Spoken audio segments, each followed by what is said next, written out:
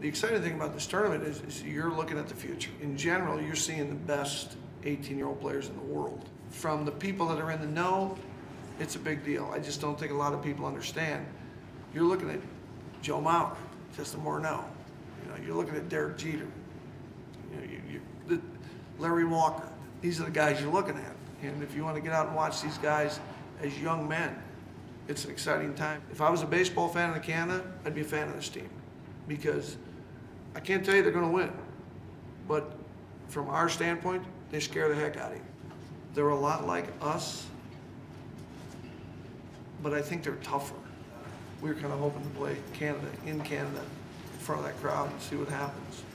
So I mean, it, up in Thunder Bay, if the fans come out and see this, their national team, the best 18-year-olds in their country, and the best 18-year-olds in the world.